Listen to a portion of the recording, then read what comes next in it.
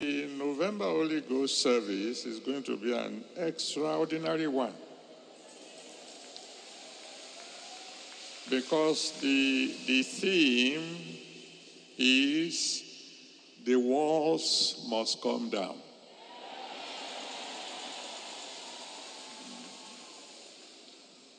When God gave me that theme for November, I didn't fully understand until He gave me the theme for the Congress. The theme for the Congress is divine repositioning.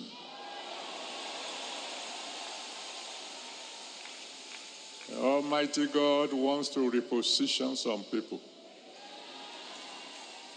And in November, He wants to clear the way.